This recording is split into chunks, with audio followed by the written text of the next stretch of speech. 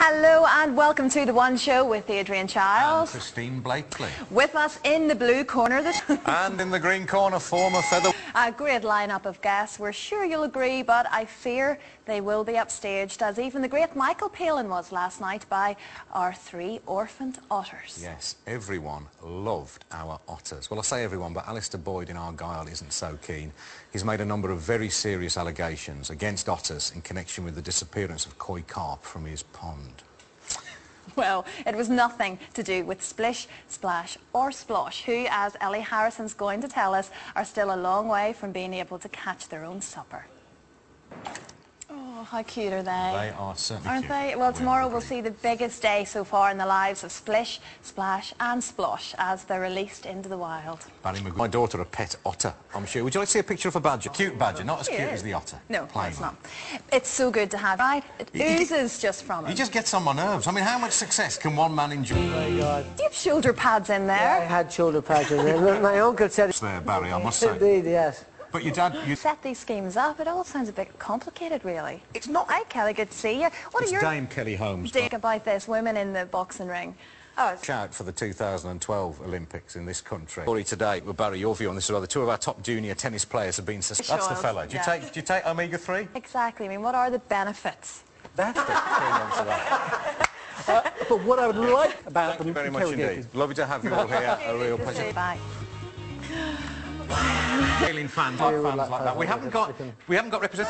Well, you can't have afternoon No, tea. you can't. practice makes perfect. Yeah. though. We, we, thank you. That does classically that means you don't spend much, you save more. But For enter into your mind, or was it a case of, well, I mightn't be here? then Palin and Bleakley all rolled into one. Were they cute or what? Very cute. I just She's want to take one hard-hearted, but even she, she was softened by the sight Oh, of those they're things. lovely. Uh, here's another cutie, John Simon. Not that There's you're bitter, another story to be so modern. Quite tough for someone like Tim. Well, I think it, it probably won't be, to be honest. So I, I think he's ready for Because it. he's had so many near misses, he's become almost a byword for ineptitude, was it? What was that, 5%? well, you know, I think he was... He'll be. he'll be a. Our favourite vet is here, Joe Inglis. Superman of And people think of tortoises as really slow moving, but I've seen them on the... James, we hear you. You will certainly enjoy this item. The Sunrise Home in Edgbaston. You know, all my life I've dreaded going growing old, but not anymore. I am booking myself into that place. It looks an absolute flaming ball. it's a cool place to go, isn't Brilliant. it? Thanks very much indeed to them. Keep up the good work. I'll come for a game of tennis with you when I'm next uh, in the second city.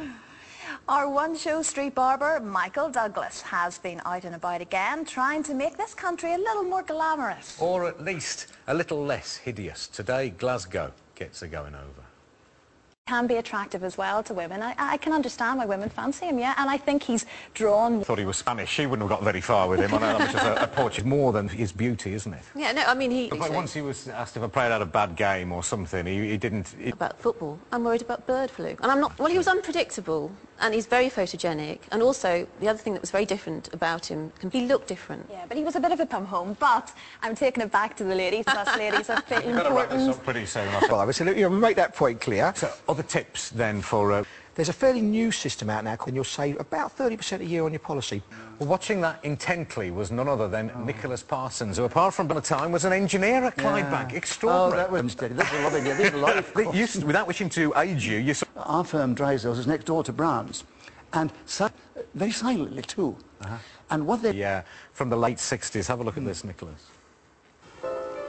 And Nicholas, you entertained audiences on the QE too. do. And um, I I went, worked on a lot of cruise ships recently. and no, there's this sense of... Cats in at night? No, I'll let the cats out. Cats. No, I haven't got cats. I mean, we had them in my... Very much indeed for uh, painful business, getting down to these ludicrous... si- Recommending it then I at do all. not recommend the course make you more shapely. suit this next dress. Being an... Hi.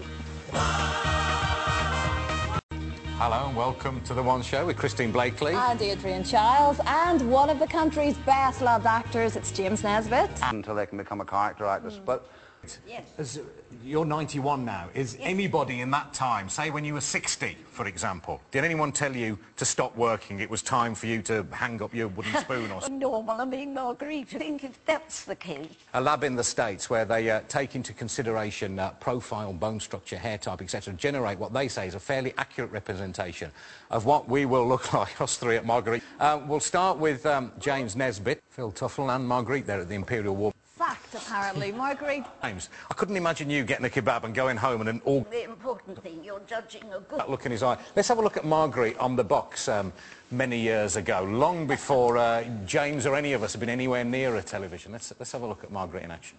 Well, Marguerite is going to make one for us, so uh, thanks very much for that. we thank look you, forward Marguerite. to trying. We'll let her crack on there. But while she does that, we can catch up with the One Show's sexy scissor man, Michael Douglas. He has been on a razor-sharp mission to sort out the nation's dodgy haircuts. He's tackled uneven fringes in Glasgow, tangled knots in Belfast, and a split-end issue in Manchester. Nasty one, that. Tonight, Newcastle gets a Michael makeover.